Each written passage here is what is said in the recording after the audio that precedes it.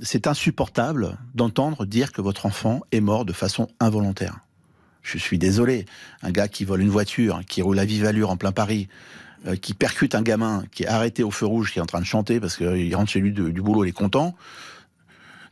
Comment, comment on peut supporter ça D'être, euh, moi je sais pas, le, jugement n'est pas arrivé, mais euh, tous ceux qui, ont, qui sont passés avant moi m'ont dit, mais c'est, Enfin, c'est quoi la valeur de notre enfant en fait dans, cette histoire? Elle est où la, prise, la prise de conscience de la victime? Traitez-nous de façon convenable, s'il vous plaît. C'est tout ce qu'on demande. Hein. Ce chauffeur, je le disais, a été mis en examen. Il est aujourd'hui libre, placé sous contrôle judiciaire, mais, mais libre. Ça aussi, ça vous révolte? Écoutez, le mien est dans une boîte. Merci beaucoup Yannick Aléon.